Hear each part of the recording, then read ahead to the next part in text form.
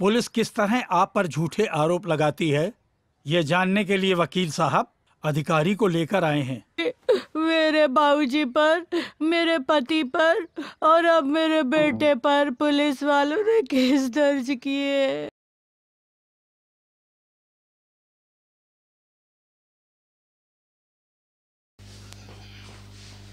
आज का हमारा टॉपिक है जो आपने स्क्रीन में देखा है why BJP is afraid of Congress आठ साल से जब से ये आए हैं जब से ये कांग्रेस कांग्रेस कांग्रेस ही करे जा रहे हैं, अगर आपको किसी से डर लगता है, तब जाके आप उनका नाम लेते हैं, वरना नाम लेने का ज़रूरत ही क्या है?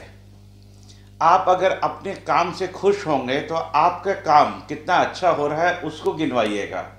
Not the topics which you have created what you have achieved India में पहली बार ऐसा गवर्नेंस मिला, जहाँ पर दो औरतें जल रही हैं। Because of action of government तो उसके लिए सिर्फ़ पुलिस दाई है बोलना भूल होगा, सिर्फ़ योगी जी दाई है बोलना भूल होगा, सिर्फ़ पीएम दाई है बोलना भूल होगा। वो लोग भी दाई हैं जो लोग इनको वोट देते हैं। इंडिया को समझने के लिए दो चीज़ समझना आज बहुत ज़रूरी होगा। Beside Mughals Hun France Denmark आपका ब्रिटिश के बाद India got is independence in 1947 और इंडिया का इंडिपेंडेंस को कॉम्प्रोमाइज किया गया 1992 सिक्स दिसंबर व्हेन बाबरी मस्जिद वाज ब्रोकन एक तरफ़ ब्रिटिश छोड़कर चले जाते हैं सेकेंड वर्ल्ड वॉर के बाद, क्योंकि समझ पाते हैं कि इंडिया को रूल नहीं किया जाएगा। क्विट मूवमेंट शुरू हो गया था, जिसमें आरएसएस ने पार्ट नहीं लिया था। और एक मूवमेंट शुरू हुआ 1992 में, उसके पहले बीजेपी को वोट नहीं मिलता था। तो they too sentiment of people the separation sentimental of people क्योंकि वो समझ ही नहीं पाए, देश को जोड़ के कैसे रखा जाए। कुछ वोटर है, जिनका पेट भरती है, दिमाग में गोबर भरती है। वो लोग 1992 का इस एक्ट को समझे कि ये लोग हिंदू को बचाने आ रहे हैं। तो 2023 में दो औरतों को जलाकर ये क्या प्रमाण करना चाह रहे थे? इंडिपेंडेंस हम लोग को 1947 में मिला। और 1992 सिक्स दिसंबर में वो इंडिपेंडेंस हमने खुद के हाथ से जला दिया हर भारतवासी, वो मुस्लिम हो, वो हिंदू हो, ईसाई हो, वो जैन हो, उस दिन हमने अपने हाथ से हमारे देश का इंडिपेंडेंस को जला दिया। उसके बाद बीजेपी ने वही किया, जो उसको करना चाहिए था देश को सेपरेट करने के लिए। अटल जी आए शाइनिंग इंडिया चल रहा था। आपने नोटिस नहीं किया, तब हमारे देश में सीए का एक ऑफ़र लाया गया कि आपको प्रमाण करना पड़ेगा। आप देश के सिटीजन हैं। और पेंशन को उठा दिया गया। हर साधारण नागरिक के ऊपर ये एक वॉर था जो हम लोग समझ ही नहीं पाए। इंडिपेंडेंस 1947 में मिला और उसके बाद वो इंडिपेंडेंस गुम हो गया 1992 उसके बाद इंडिया में कुछ अच्छा होगा ही नहीं।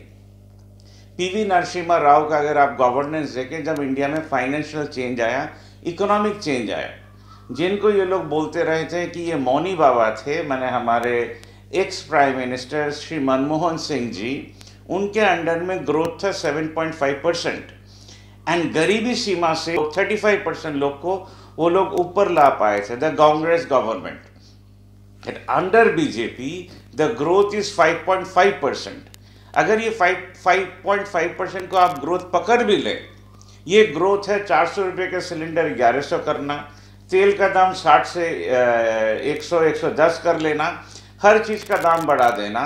पहले से रामपुर में दस रुपये का चार पूरी मिलता था, आज चौबीस रुपये में तीन पूरी मिलता है तो आप समझ पाइएगा देश को ये कहाँ ले गए।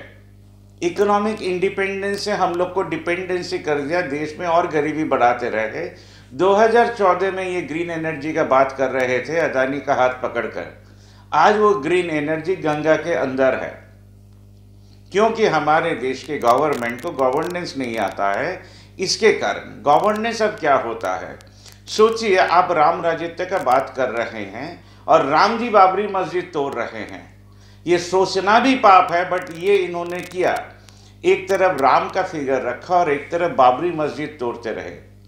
क्योंकि राम का भी बाबरी मस्जिद तोड़ते नहीं, बल्कि राम को अगर ये राजत्व मिलता तो इस इधर जितने भी डिविजन्स है, वो सबको एक कर कर राज्यसभा में हर जाति के लोग को भेजकर बोलते, जो इंडिया को यूनाइट करना बोलो, जो अभी बीजेपी के जितने भी सांसद हैं एमपी हैं एमएलएज हैं काउंसिलर्स हैं, एक मंच पे आके, खुद का मंच बना के वो बोल नहीं पाएँगे, जो इंडियंस यूनाइट ये दम उनमें है ही नहीं।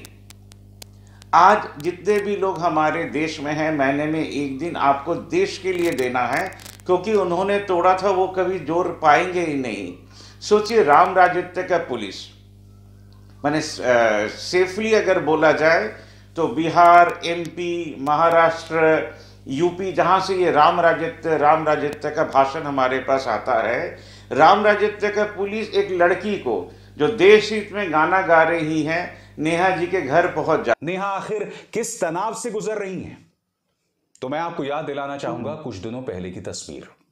ये वीडियो देखिए एक बार फिर पूरे स्क्रीन पर देखिए। नेहा सिंह राठौर के घर उत्तर प्रदेश पुलिस पहुँच गई है कानपुर की पुलिस। आता है। वही पुलिस वही कानपुर का पुलिस आपके घर में पहुँच रहा है कि आपने बहुत बढ़िया काम किया। चलिए आपको पुलिस स्टेशन ले जाकर हम लोग एक अवार्ड देते हैं। एक लाख का अवार्ड जो ये गवर्नमेंट शायद दे रहा हो, ये तो सकेगा नहीं बाद वाला गवर्नमेंट ज़रूर सक जाएगा।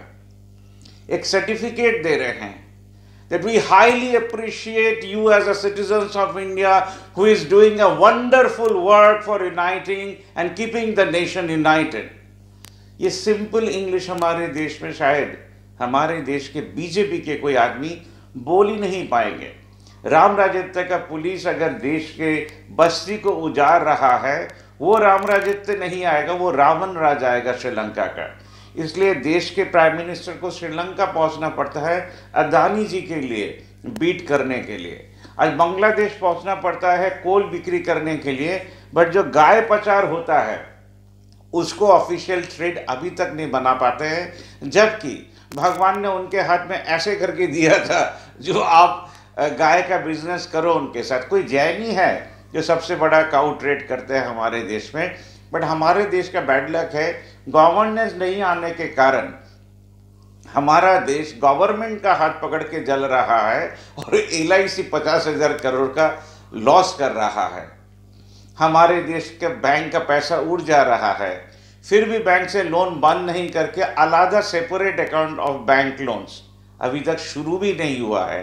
सोचिए बैंक का fraud nearly 100 crore per day है। ये गूगल बोल रहा है, आप खोल के ज़रूर से सर्च कर लीजिएगा।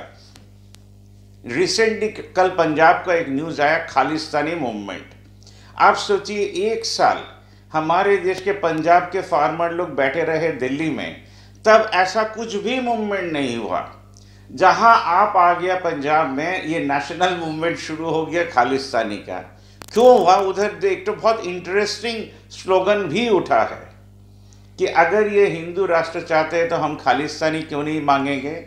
ये एक्चुअली बीजेपी का ही करवाया हुआ मूवमेंट है। वरना खालिस्तानी कहाँ से उठेंगे? अगर आपको ये कहा जाए, जो आप आर्म्स लेके रस्ते में निकल पड़ो, आपके पीछे हम हैं अरेस्ट भी नहीं होगा। इंदिरा गांधी के जैसे अगर इनका फौलादी सोच होता, तब जाके ये ब्लू स्टार कर पाते। दिल्ली का दंगा क्या प्रमाण करता है कि हमारे होम मिनिस्टर को देश कभी नहीं चलाना आएगा? वरना अगर दिल्ली में दंगा होता है तो पूरा भारत में दंगा होने में बीजेपी को कौन अटका पाएगा? क्योंकि आपके सोच में ये बीजेपी का दोष नहीं है। वो तो कोशिश करेंगे जो देश का आदमी, देश के आदमी से भिड़े और ये सोचे जो हमारे पास कोई ऑल्टरनेटिव नहीं है। सबसे बड़ा ऑल्टरनेटिव है आपके पास वोट। आप किसी को नहीं चाहते हैं तो उसके ऑप्शन में आपको तेईस और आदमी मिल जाएँगे वोट देने के लिए। आप उन्हीं को वोट दे दीजिए क्योंकि वोट प्राइम मिनिस्टर नहीं चलाते हैं। देश कोई भी प्राइम मिनिस्टर नहीं चलाते हैं। ये लगता है अपरेंटली जैसे हमारे देश में जस्टिस लगता है अपरेंटली इज़ बिंग डिलीवर्ड इसलिए हमने आपको पहले एक सिनेमा का शॉट दिखाया। यही शॉट रियलिटी में है झारखंड का। दस हज़ार आदिवासी को उन्होंने जेल में भर के रखा था। तब सोरेन साहब ने कहा था, अगर हम लोग जीत के आए तो ये दस हज़ार आदमी को जेल से निकाल देंगे। हमारे देश के जितने भी रिच आदमी हैं, जिनको भी अच्छा सैलरी मिलता है हमारे देश में, वही लोग ही कमीशन लेते हैं, घूस लेते हैं करप्टेड होते हैं। हमारे देश के जो बैंक से लोन लिया और वापस नहीं किया, वही तो असली में चोर हैं। इसलिए शेयर का दाम गिरता है और उठता है बट मिडिल क्लास और लोअर मिडिल का दाम ना उठता है, ना गिरता है। अगर हमारे देश के लोग, जो हमारे न्यूज़ का सार मर्म है, हमारे देश के अगर सिटीजन हर पाँच साल में गवर्नमेंट को ही चेंज कर दे तो इस तकलीफ़ से हम लोग को गुजरना ही नहीं पड़ेगा। पुलिस को अगर देश हित में व्यवहार किया जाए तो हमारे देश का एक एसपी, हमारे देश के कुछ सिटीजन्स को प्रमोट कर रहे होंगे, कुछ पद्मश्री को प्रमोट कर रहे होंगे, और उनको न्यूज़ चैनल में हम लोग सुनेंगे। आज भी हमारा न्यूज़ ख़त्म होगा एक वंडरफुल न्यूज़ के साथ। The news of a citizens of India Pondicherry में बैठकर एलिस वंडरलैंड का स्टोरी क्या वंडरफुल काम कर रही हैं वो।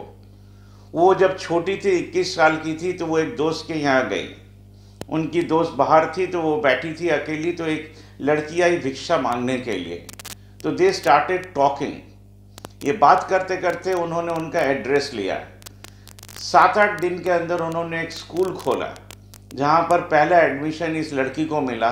आज डेढ़ सौ से ज़्यादा बच्चे उधर से पढ़ के कोई डॉक्टर बने हैं, कोई इंजीनियर बने हैं, कोई एम बने हैं। और वो लोग ही अब इस स्कूल का टेक केयर करते हैं। एक गर्ल्स हॉस्टल खुला है, एक मेंस हॉस्टल खुला है। हमारा देश का स्टोरी, वो आदमी लोग है। जो लोग इस देश को आगे लेके जा रहा है, हमारा देश का कोई भी न्यूज़ पॉलिटिकल नहीं है।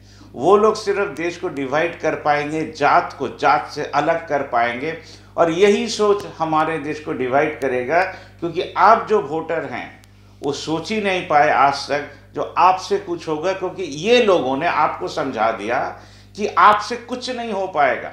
आप एक इंडिविजुअल हैं। आप अपने पाड़ा में, आपके क्लस्टर ऑफ़ बिल्डिंग में महीने में एक दिन सिर्फ़ पुराना खबर का कागज़ खाता बुक जमा देकर अपने लोकेलिटी को एक कर सकते हैं। 2000 आदमी सुबह 10 बजे आके ये जमा दे रहा है और वो आदमी जना गना मना गा रहा है। या तो कोई नेशनलिस्टिक सॉन्ग गा रहा है, वही वीडियो होकर सब न्यूज़ चैनल में चला जा रहा है। हम तो प्रमोट ही कर रहे हैं डेवलपमेंट जर्नलिज्म अगर ये हो सकता है, तब हमारा देश कभी सेपरेटेड नहीं होगा। 1992 में जो भूल काम हम लोगों ने करने दिया इनको, जिसके कारण आज देश और भी डिवाइड होगा बिकॉज़ ऑफ़ बीजेपी तभी ये कांग्रेस से डरते हैं, क्योंकि वो जोड़ रहे थे। आज साढ़े आज तीन चार महीने का जो वॉक था, साढ़े चार हज़ार किलोमीटर का राहुल गांधी का, कांग्रेस तब भी जोड़ रहा था, कांग्रेस अभी भी जोड़ रहा है। बट ये ज्वाइनिंग सिर्फ़ डिजिटली नहीं होगा। आपको रस्ते में उतरना पड़ेगा। हर कांग्रेस ऑफ़िस से न्यूज़पेपर बैंक खोलकर सोशल कैपिटल बनाना पड़ेगा। मोबाइल से वीडियो रिकॉर्ड करके भेजना पड़ेगा। तब जाके ये देश जुड़ेगा। हर सीपीएम ऑफ़िस से जो लोग कहते हैं, हम लोग इंसान के साथ हैं। वो इंसान के साथ नहीं है जब तक वो काम में परिणत ना करे।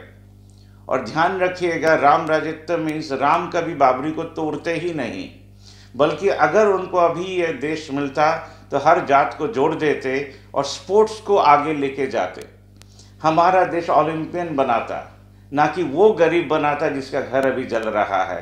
The reality of India is something else and which is been trying to be projected on screen is something else but Jaishankar ji शायद आज वो सच बात बोलकर ही आए कि देश डर रहा है चाइना के सामने। China now the biggest threat to India? Look, they are the bigger economy. Hmm. I mean, what am I going to do? As a smaller economy, I'm going to uh, sort of uh, go pick hmm. a fight with a bigger economy.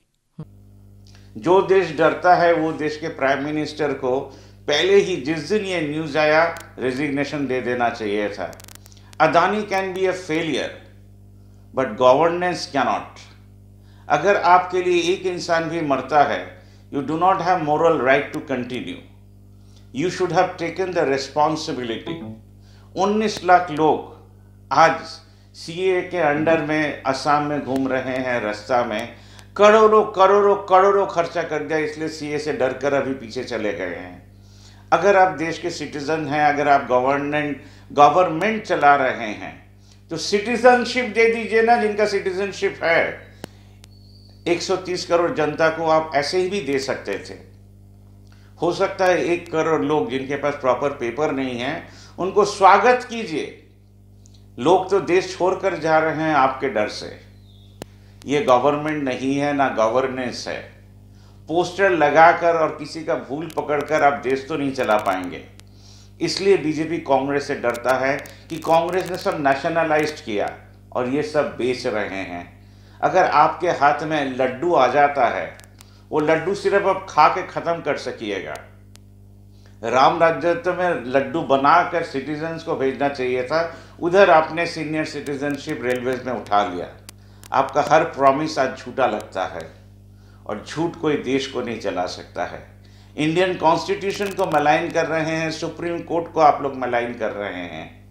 एक तो वो दिन आएगा जब अंधे भक्त का भी आँखें खुल जाएगा और गंधारी के आँख से फट्टी भी निकल जाएगा।